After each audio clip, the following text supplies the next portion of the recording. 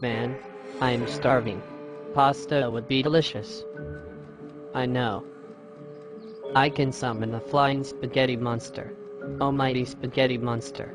May your noodles, parmesan, meatballs, and holy spaghetti sauce collide with our world.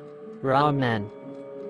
OMG, here he is. I will savor your noodles, devour your meatballs, and slurp the sauce out of your pasta school.